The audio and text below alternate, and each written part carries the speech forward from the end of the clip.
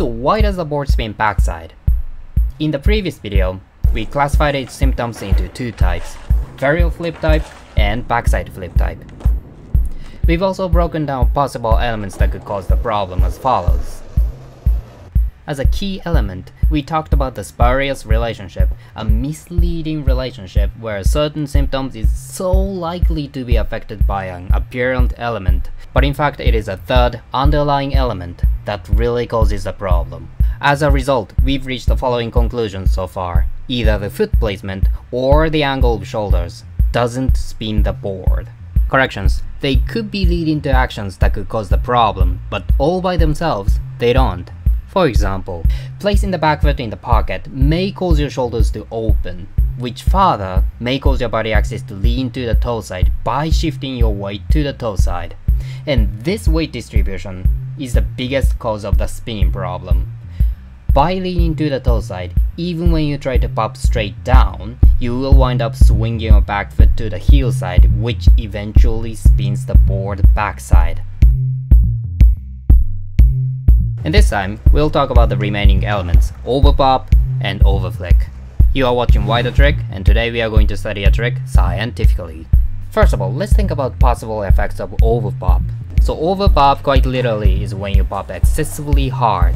In the previous video, we learned doing this conveys too much energy to the tail, gives the nose too much amount of energy to go up, which cannot be offset by the slide of your front foot and eventually makes it difficult to flick out your front foot and the remaining energy of the nose to go up makes you feel heavy to flick, make those slow flips, which further is leading to catching or landing upside down.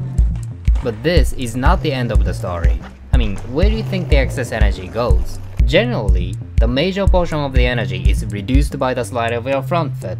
But when you pop too hard, even after sliding your front foot all the way up the nose, the energy may still remain, and that energy does not just disappear all by itself.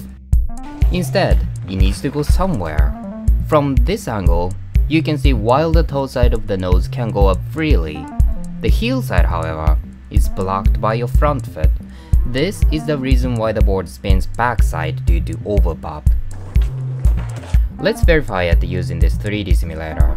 Imagine this green axis is where your back foot pops, and the blue axis is where your front foot will be. And this is what happens when you overpop. As you can see the board spins backside after hitting the front foot. This is because the only direction the energy of the nose can go is the toe side. To prevent this, you want to pop just as hard as it needs. In other words, your board needs to lose its momentum to go up by the time your front foot is ready to flick it in general, I don't think it has to be so high. As I said, if you don't know how to kickflip properly yet, you could just pop as hard as this. And to do this, you really want to understand the difference between jumping and popping.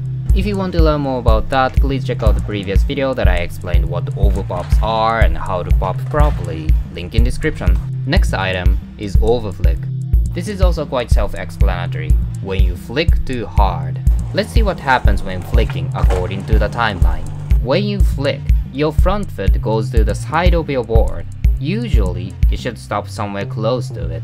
One thing I'd like you to pay attention to, as you flick out sideways, the board opens up. And after your front foot finishes the flicking motion, you have to bring it back on the deck. Important, since your body is not attached to anything, if you move your front foot, your back foot also moves correspondingly, turning your whole body around your body axis like a gear. So in summary, the energy to open up your board as you flick it should be equal to the energy that you generate when you bring your front foot back on your deck.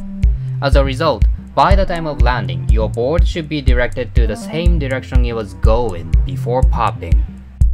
However, when you overflick, you may extend your leg too far. Correspondingly, you need to generate much bigger energy to bring your front foot back on the deck. And if you push through and catch a board, your body continues turning after that. Let's compare a normal flick and an over flick. As you over flick, your front foot will be farther away from your board, and to bring it back, you need to move it for a longer distance, which generates more energy. With such energy, since you are in the air, your body keeps rotating even after catching your board. Once again, unlike a proper flick, your front foot is overly extended, which requires more energy to bring it back. As a result, you end up rotating backside. As for the spurious relationship, opening shoulders itself is not a direct cause of the problem, because it doesn't generate any energy to spin the board. Instead, by opening your shoulders, it becomes easier to extend your front foot unnecessarily far off to the side. And to bring your front foot back on the deck, you need more energy, which further makes it difficult to stop your body from turning backside. To avoid this, I recommend envisioning where you should stop flicking before flicking out.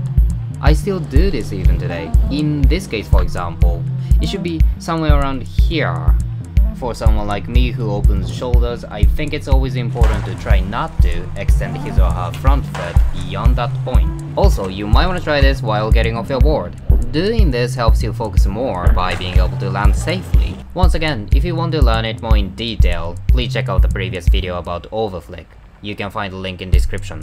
It's been really long but in conclusion, opening shoulders and placing your back foot in the pocket are not direct causes of the spinning problem. If you're looking for objective verification, please check out the previous video. Instead, doing so may cause wrong use of weight distribution, which causes the problem.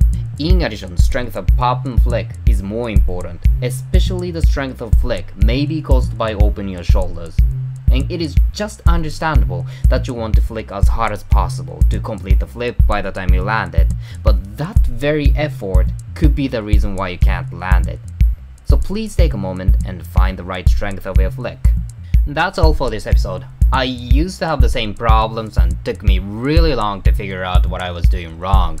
So I truly hope this can help someone.